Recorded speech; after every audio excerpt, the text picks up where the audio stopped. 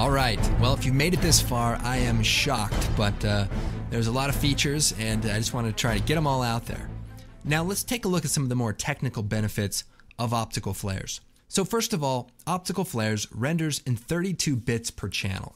So, if we change our project file to 32 bits and we alt click on it, now we're in 32 bits per channel. So, if we roll over the bright area here and we look at the info palette right here, you can see that the brightness goes all the way up to 5, which is 5 times brighter than regular white. So if we added a box blur and turned it up, you can see that the hot spot in the middle of the flare is sort of overpowering the areas around it.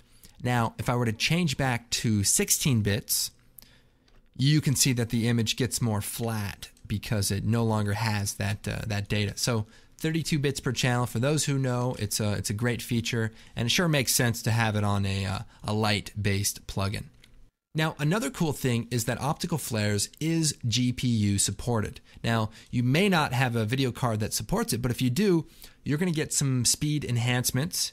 And by the way, with the GPU, it also renders up to 32 bits per channel. So whether you're working in 8 bits or 32 bits, you're still going to get some speed improvements. So going down the list here, now Optical Flares has a few options for rendering. Now, say I made my solid accidentally, you know, a different color than black. Well, usually you want to put a lens flare on black. So we have an option just automatically renders the lens flare on a black solid. Now we can set it to transparent and it'll render over an image that's underneath it. Or you can set it to render over the original image. So now we have the lens flare on our red solid. Now I like to render on black and then set my transfer mode to screen so that I can actually composite it. And the benefit is it's easier to color correct when it's on black than when it's on transparent. So just a quick tip. Now another cool feature is optical flares renders in custom views. So here we have some lens flares that are being obscured and uh, you know we're in 3D space and I'm moving a camera around. But if we change it from the active camera to say the top view, we can actually see what our scene looks like and our lens flares render just so that you can see where the light is coming from. So here we actually have lights in those positions, and so it's kind of nice that it renders and it's aware of the custom views. There's some other advanced features that really help you out while you're working, and one of them is the ignore global parameters. So I can change the rotation, and you can see all of my objects rotate. But what if I don't want this uh, star streak to rotate? So we'll go into the options, we'll scroll down to our streak element, and uh, that's the one that's creating uh, that star. And if we scroll down in the object editor, we have some advanced settings, and we can say ignore global rotation. We hit OK.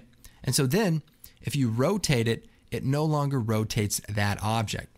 And you'll also notice there's a few other properties like ignore 3D perspective and brightness and scale. Now, the ignore 3D perspective, if we turn that on, and hit OK.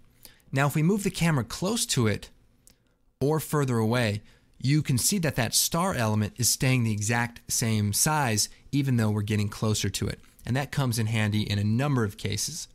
Another cool feature is optical flares allows you to change the center pivot point. So instead of having to make your lens flare really large for a flare that renders outside, you can change the pivot point um, of where everything is looking at.